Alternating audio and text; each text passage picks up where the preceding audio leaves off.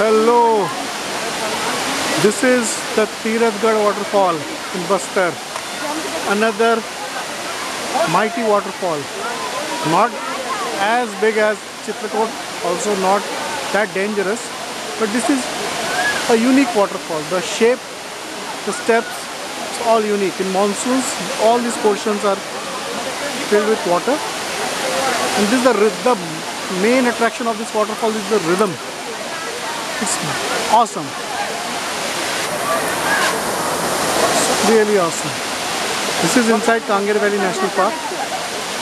About one hour drive from Jagdalpur, but you don't need to take a safari to reach this spot.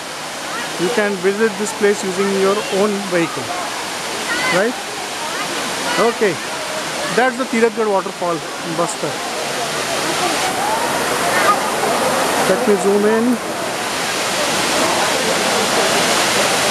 Beautiful.